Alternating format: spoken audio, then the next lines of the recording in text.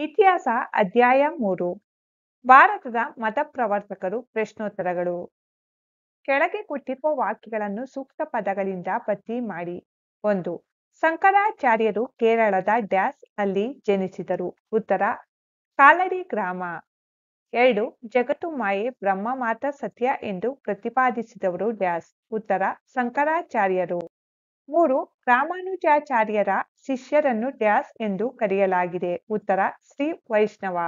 ನಾಲ್ಕು, ದ್ವೈತ ಸಿದ್ಧಾಂತ ಪ್ರತಿಪಾದಕರು ಡ್ಯಾಸ್. ಉತ್ತರ, ಮಧ್ವಾಚಾರ್ಯರು. ಕೆಳಕಂಡ ಪ್ರಶ್ನೆಗಳಿಗೆ ಗುಂಪುಗಳಲ್ಲಿ ಚರ್ಚಿಸಿ ಉತ್ತರಿಸಿ. ಪ್ರಶ್ನೆ ಒಂದು, ಅದ್ವೈತ ಸಿದ್ಧಾಂತ ಪ್ರತಿಪಾದಕರು ಯಾರು? ಉತ್ತರ, ಅದ್ವೈತ ಸಿದ್ಧಾಂತದ ಪ್ರತಿಪಾದಕರು ಶಂಕರಾಚಾರ್ಯರು.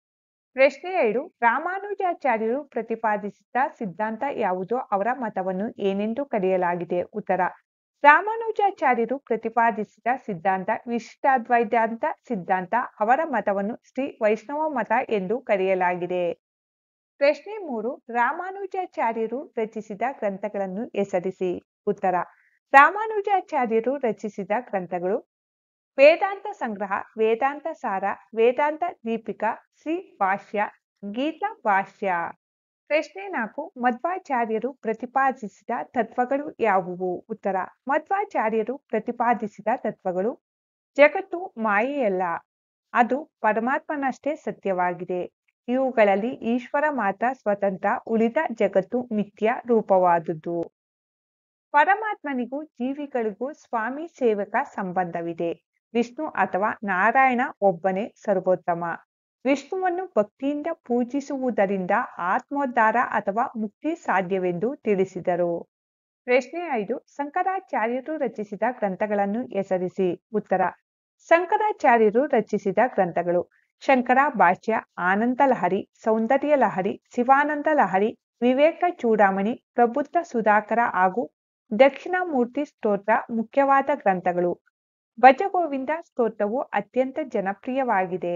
ಪ್ರಶ್ನೆ ಆರು, ಬಸವಣ್ಣನವರು ಬಸವನ ಬಾಗೇವಾಡಿಯನ್ನು ತೊರೆದ ಕಾರಣವೇನು? ಉತ್ತರ, ಬಾಲ್ಯದಲ್ಲಿ ಬ್ರಾಹ್ಮಣ ಪದ್ಧತಿಯಂತೆ ಉಪನಯನ ಸಂಸ್ಕಾರ ನಡೆಯುವಾಗ ತನ್ನ ತಾಯಿ, ಸಹೋದರಿ ಮತ್ತು ಇತರ ಗೆಳೆಯರಿಗೆ ಇಲ್ಲದ ಉಪನಯನ ತನಗೂ ಬೇಡವೆಂದು ಜನಿವಾರವನ್ನು ತಿರಸ್ಕರಿಸಿ ಬಸವಣ್ಣನವರು ಬಸವನ ಬಾಗೇವಾಡಿಯನ್ನು ತೊರೆದರು. ಪ್ರಶ್ನೆ ಏಳು, ಬಸವಣ್ಣನವರು ಮಾಡಿದ ಕಲ್ಯಾಣ ಕಾರ್ಯಗಳ್ಯಾವುವು ಉತ್ತರ, ಸಮಾಜದಲ್ಲಿ ಬೇರುದಿದ್ದ ಅಂಧಶ್ರದ್ಧೆ, ಮೂಢನಂಬಿಕೆ, ಕರ್ಮಾಚರಣೆಗಳನ್ನು ಖಂಡಿಸಿದರು ಬಸವಣ್ಣನವರು ಆರ್ಥಿಕ, ಸಾಮಾಜಿಕ, ಧಾರ್ಮಿಕ ಸುಧಾರಣೆಗೆ ಕಾರಣರಾದರು. ಸ್ತ್ರೀಯರ ಸ್ವಾತಂತ್ರ್ಯ ಸಮಾನತೆಯನ್ನು ಪ್ರತಿಪಾದಿಸಿದರು.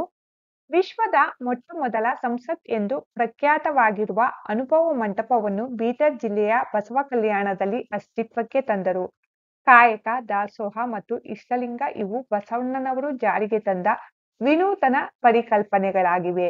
ಇವುಗಳ ಮೂಲಕ ಬಸವಣ್ಣನವರು ಜಾತ್ಯಾತೀತ, ಲಿಂಗಾತೀತ, ಸಮ ಸಮಾಜವನ್ನು ಕಲ್ಯಾಣದಲ್ಲಿ ನೆಲೆಗೊಳಿಸಿದರು. ಇವು ಬಸವಣ್ಣನವರು ಮಾಡಿದ ಕಲ್ಯಾಣ ಕಾರ್ಯಗಳು. ಪ್ರಶ್ನೆ ಎಂಟು, ಬಸವಣ್ಣನವರೊಂದಿಗೆ ವಚನ ಚಳುವಳಿಯಲ್ಲಿ ಗುರುತಿಸಿಕೊಂಡ ಅನುಯಾಯಿಗಳ್ಯಾರು? ಉತ್ತರ, ಸತ್ಯಕ್ಕ, ಆಯ್ದಕ್ಕಿ ಲಕ್ಷ್ಮಮ್ಮ, ಸಿದ್ದರಾಮ, ಚನ್ನಬಸವಣ್ಣ ಮೊಳಿಗೆ ಮಾರಯ್ಯ, ಅಂಬಿಗರ ಚೌಡಯ್ಯ, ಮಡಿವಾಳ ಮಾಂಜಯ್ಯ, ಮದಾರ ಚೆನ್ನಯ್ಯ, ಸಮಗಾರ ಅರಳಯ್ಯ ಹಿನ್ನರಿ ಬೊಮ್ಮಯ್ಯ ಮತ್ತಿತರರು ಬಸವಣ್ಣನವರೊಂದಿಗೆ ವಚನ ಚಳುವಳಿಯಲ್ಲಿ ಗುರುತಿಸಿಕೊಂಡ ಅನುಯಾಯಿಗಳು. ಪ್ರಶ್ನೆ ಒಂಬತ್ತು, ಬಸವಣ್ಣನವರು ಪ್ರತಿಪಾದಿಸಿದ ಕಾಯಕವೇ ಕೈಲಾಸ ಎಂದರೇನು? ಉತ್ತರ, ಸ್ಥಾವರ ಕಳಿವುಂಟು ಜಂಗಮ ಕಳಿವಿಲ್ಲ ಕಾಯಕವೇ ಕೈಲಾಸ ಎಂದ ಬಸವಣ್ಣನವರು ಕಾಯಕದ ಪ್ರಾವಿತ್ಯದ ಜೊತೆಗೆ ಜನರಲ್ಲಿ ದುಡಿಮೆಯ ಸಂಸ್ಕೃತಿಯನ್ನು ಬೆಳೆಸುವ ಕಾಯಕದ ತತ್ವಕ್ಕೂ ಒತ್ತು ಕೊಟ್ಟರು. ಕಾಯಕದಲ್ಲಿ ಮೇಲು ಕೀಳುಗಳಿಲ್ಲ ಎಂಬುದು ಬಸವಣ್ಣನವರು ಪ್ರತಿಪಾದಿಸಿದ ಕಾಯಕವೇ ಕೈಲಾಸ. ಮಕ್ಕಳೇ, ಈ ಪಾಠದ ಪ್ರಶ್ನೋತ್ತರಗಳಲ್ಲಿ ಯಾವುದಾದರೂ ತಪ್ಪುಗಳಿದ್ದರೆ ದಯವಿಟ್ಟು ಕಮೆಂಟ್ಸ್ ಬಾಕ್ಸ್ನಲ್ಲಿ ತಿಳಿಸಿ.